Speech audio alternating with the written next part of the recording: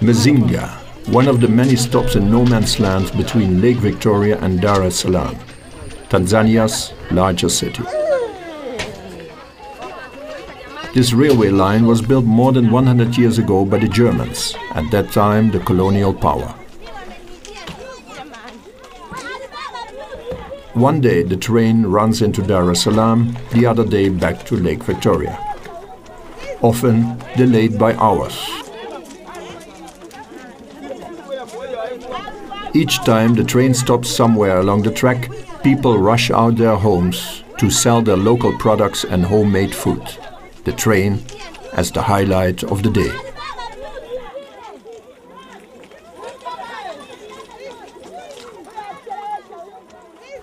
Mimi kama mama, kama mama mwenye watoto wawili,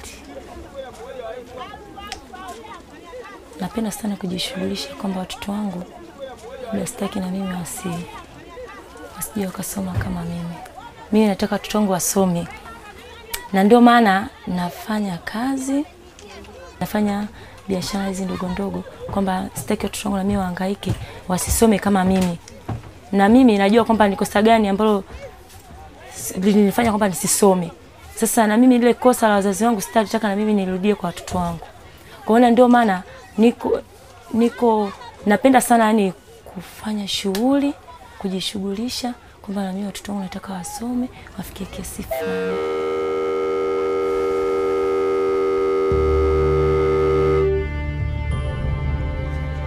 Our train runs again. A last quick sail, and the vendors have to wait for the next train tomorrow. Tanzania is my new destination on a global train journey through six continents.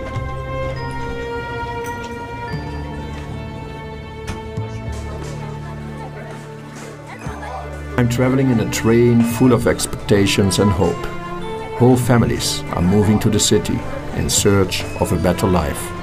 Like them, I'm open to everything and everybody in search of something new and happiness.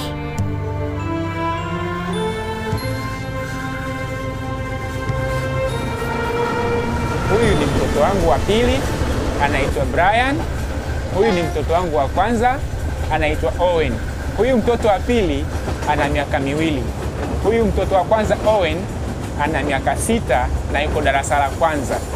Huyu ndo mke wangu anaitwa Janet. Yeah.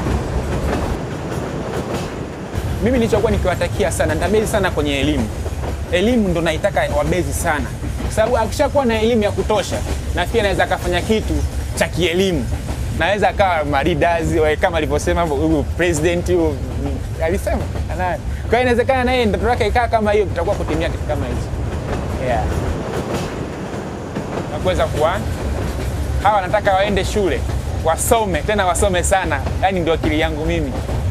Naona nataka waende shule wasome wasome sana, wasie katika hali ambayo niko nayo mimi. Naona hiyo ndo tatizo, lakini najitahidi kupigana, siwezi kukaa nikabweteka, kwa sababu bado hawa nani wananitegemea mimi yeah. Mimi hapa nashughulika na mambo ya construction. Kwa sasa hivi nipo katika kampuni moja inaitwa Noremco AB la ujenzi, lakini pale niko kwa muda, nafanya kwa muda. Nafikiri termination yangu mimi itakuwa the end of this month na mimi mkataba wangu utakuwa umekwisha. Badala hapo nitakuwa sina shughuli nyingine yoyote, kwa sababu mkataba utakuwa nakuwa naenda kwenye village ndani najumua mazao mahindi, maharage, nini, then inaleta mjini, naanza kuyauza. Unaona, kwenye kilimo kitakuwa cha kawaida, japokuwa sio kilimo cha umwagiliaji. Kilimo cha umwagiliaji kitakuwa ni expensive kwa sasa hivi, na mimi starting point ndo naanza, inakuwa ni ngumu. Kwa hiyo nitakuwa nalima cha kawaida.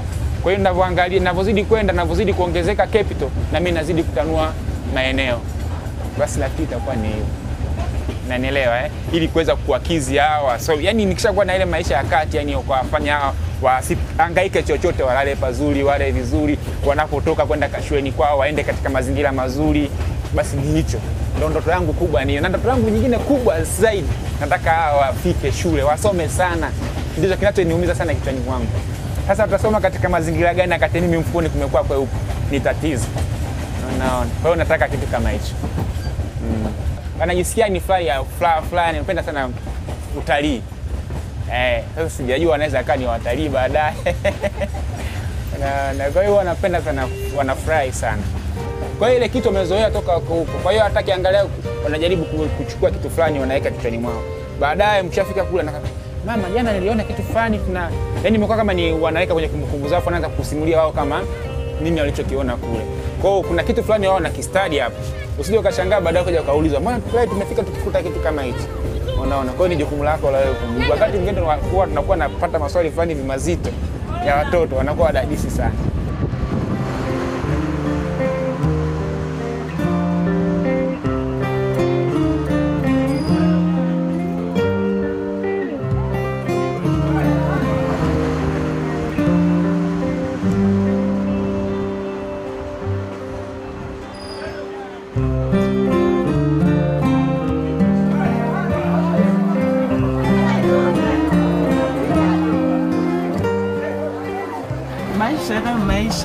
Kule tulikotoka tulikaa muda mrefu huku Mbeya. Kwa hiyo tulipenda sana kubadilisha hali ya mazingira ya sehemu nyingine, na pale tulipokuwa tukiishi si mjini sana, ni kijijini. Kwa hiyo tulipenda tu tukaishi maisha angalau ya mjini, labda tuweze tukaendelea pale ambapo tulipo, labda tukaenda mbele zaidi, unaona, na tukabadilisha hali, hali ya hewa ya mazingira ya, ya pale ya kijijini, tukabadilisha hali ya hewa ya mjini, na pia kuwapa watoto wetu upeo mkubwa wa kuweza kusoma na kuweza kuendelea kimasomo, kwa sababu pale ni pafinyu sana. Elimu haiwezi kupatikana bora zaidi kama mjini wenzetu watoto wao wanapopata elimu bora.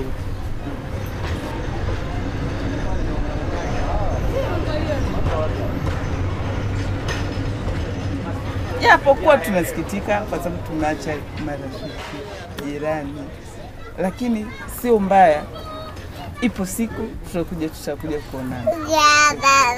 Tunapokwenda tunaenda kuanza maisha mapya na watu wengine, na tutajitahidi kuishi kama vile tulivyotoka kule tulikotoka. Lazima inakuwepo kwa sababu si unakuwa ni mgeni, lazima uwe na ile hofu kidogo, kwa sababu hujazoea maisha ya kule, lakini kwa jinsi siku zinavyozidi sogea, lazima utazidi kubadilika na utajipa moyo eh.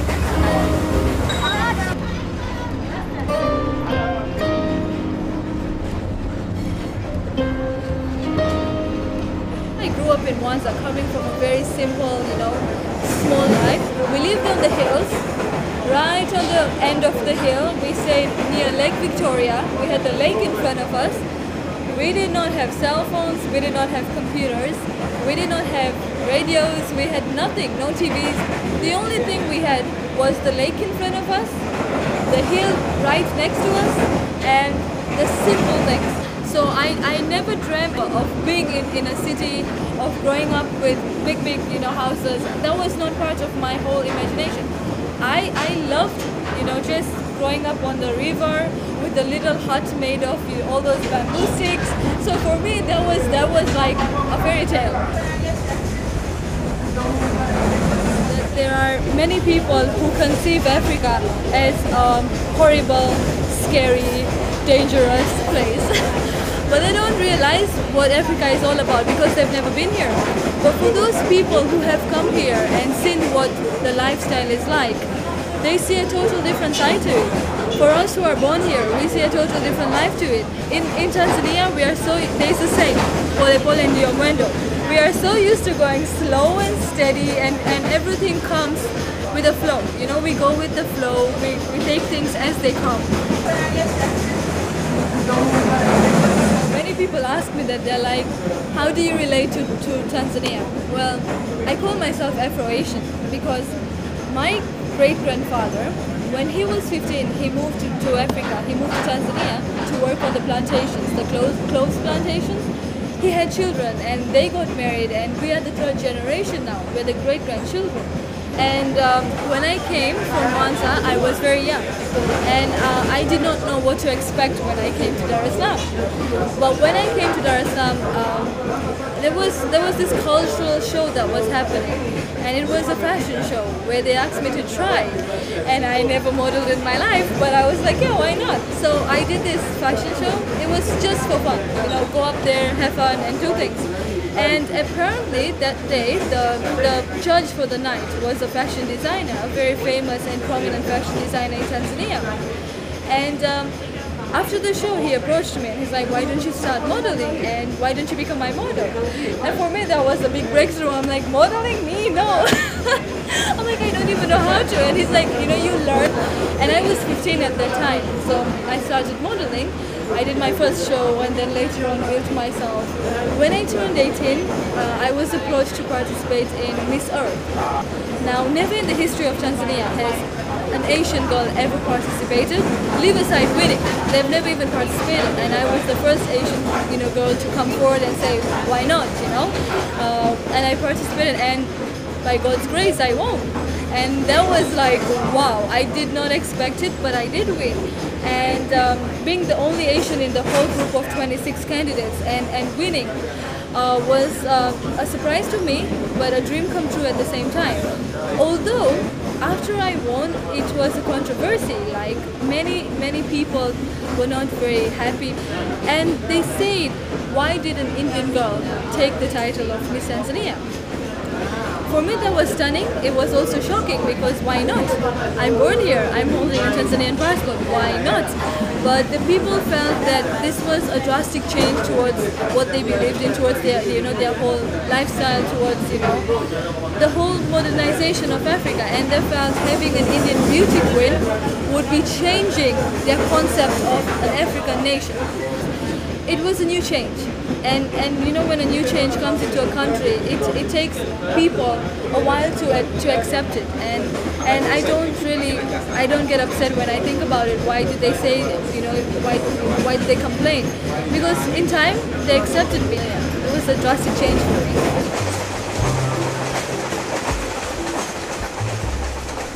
Richa belongs to the tiny Indian community in Tanzania. They are descendants of sailors, plantation workers and railway workers. This tiny minority counts about 40,000 people, less than half a percent of the population. Most live here for over 100 years, after a dangerous sailing journey from India across the ocean. It is now a well-established, prosperous community. I love coming to this place just to meditate and you know go back to towards you know history and all that. Um, you know what? There is a sense of being inspired when you come to a place like this. I see my children growing up with the African culture, with the beauty of the sea and the wind and the sound of the waves and and the best part is the humbleness of, of the Tanzanian people. We are known to be one of the most humble and, and you know peaceful countries in Africa and um, I think it's a very good you know touch to having my kids grow up in a place like this. Rather than seeing a modernized place I would I would love them and like them to see a place like this. If someone was to tell me leave Tanzania and go to, to another you know let's just say Europe for example I would not really be able to adjust because I am so used to being here. This is my home. I, I just love everything about Tanzania. So it would take me a lot of efforts. I would have to really put a lot of efforts to, to adjust. But I am very proud of my grandmother because uh, she came here and, and she says it by herself. She said, when I first came, to me this was being dropped in the middle of a jungle. She's like, I didn't know anything, I didn't know the language, I didn't know how to fit in. And she's always giving me stories and turning back to how her life all began, how she left Goa, got married, and came here. And she comes to Africa, which is a whole total different part of the world and a whole new, you know, background. Um, but how she adapted is something that is very unique. She got so used to it that now, if she was to go back to Goa, she would not be happy. She's like, I don't think I would ever want to go back to Goa because I have adapted to the whole lifestyle. I love this place. This is this has become home. So yes, she did have a lot of courage, and I and I feel that she was a strong character. Yeah, because if I am told to leave today, I would not. For sure, I would not. yeah.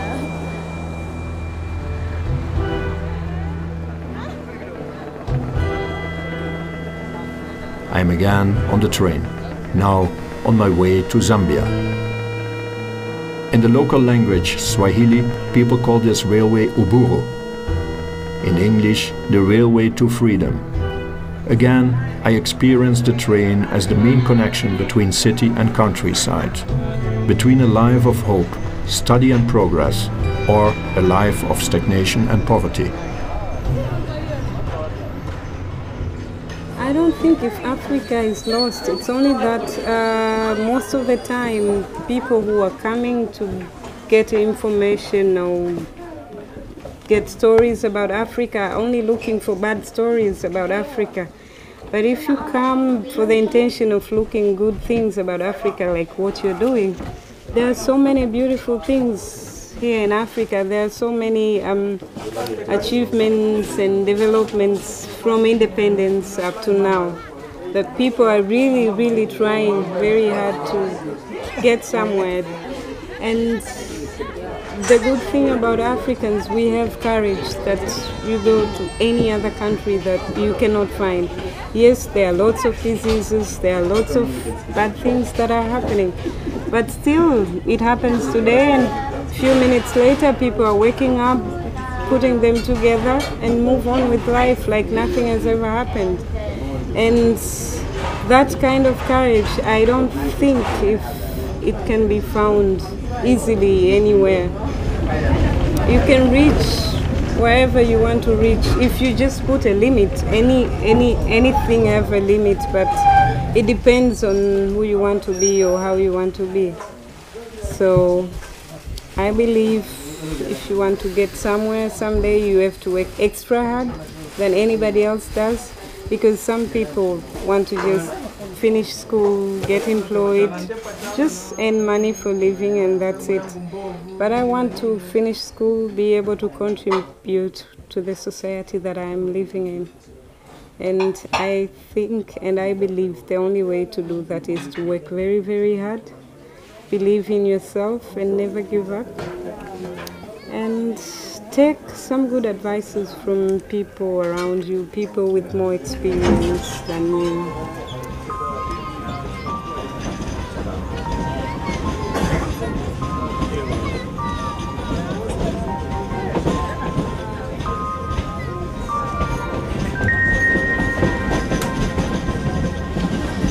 Complain should be out of the question if you ask me. Because if you complain too much then you will have reason to say ah I failed because they have done this and this and this. So that should be out of the question. It, doesn't matter whether I have something but what matters is what I have in my head and what I can do with it in order to help myself be where I want to be. I am working, I am studying. There are other so many things that I have to take care of. So I have to work extra hard. It's the same with women. They want to prove that yes, we can do it. We want to show that we are, we are capable of doing whatever a man can do. Yeah.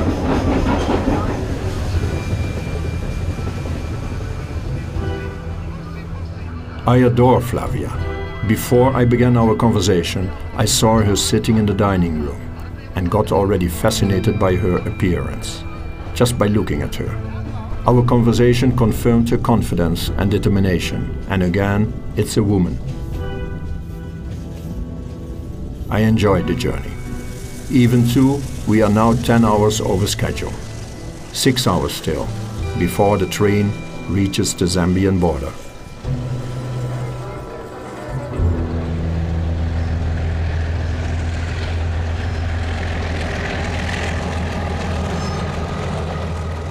Are not exact on time. We are a bit late. Uh, we started a bit late from Dar es Salaam, three hours late.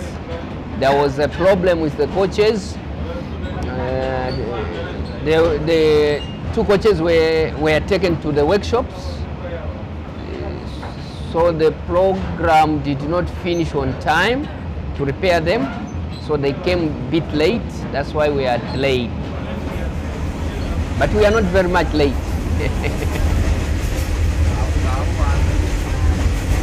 My job is very challenging actually.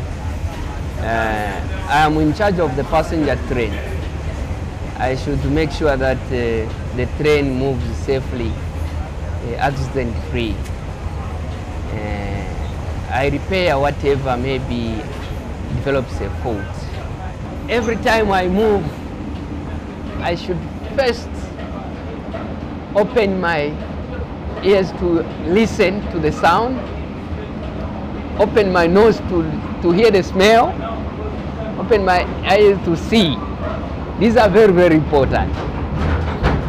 Anything maybe, maybe can have brake binding, I'll smell and I'll say there is one coach which has developed brake binding. I should attend to this coach.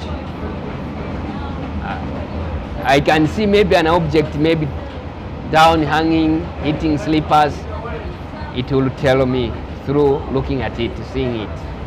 I can hear. So it is. It should not give me enough time to sleep. I should be always on duty.